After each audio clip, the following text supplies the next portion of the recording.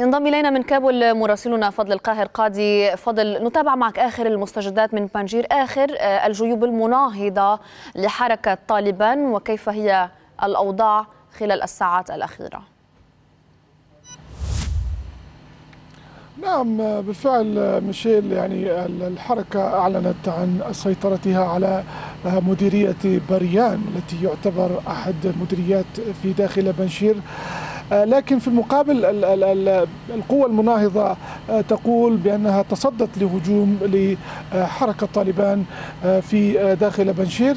لكن هناك يعني تصريحات متضاربة حتى الآن بين الطرفين لكن في الحقيقة ميشيل هنا في في في وادي بنشير الناس الذين الذين خرجوا منها يقولون بأن يعني الإنترنت مقطوعة وخطوط الهاتف مقطوعة فهناك حصار مشدد في الواقع على هذه المدينة.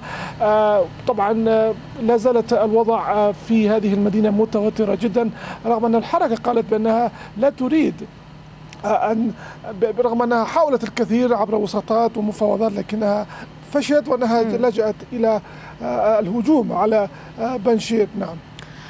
فضل إلى أي مدى أيضا هذه الأحداث؟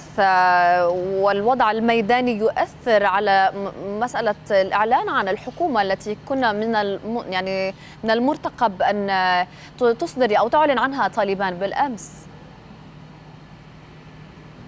نعم ميشيل بالفعل يعني ربما هذه له تأثيرات على تشكيل الحكومة المرتقبة التي يتم ربما ستعلن خلال الأيام لكن ربما مواجهات منشير يعني تركت أثرها على على المجريات فيما يتعلق بالحكومة الجديدة.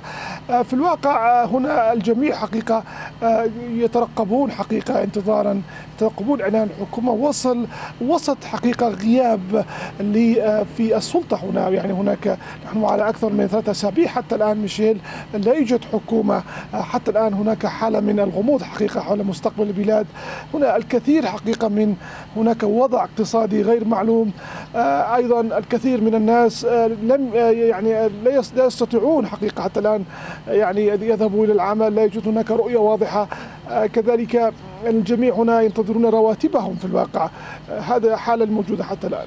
شكرا جزيلا لك فضل القاهر قادي مراسلنا من كابول.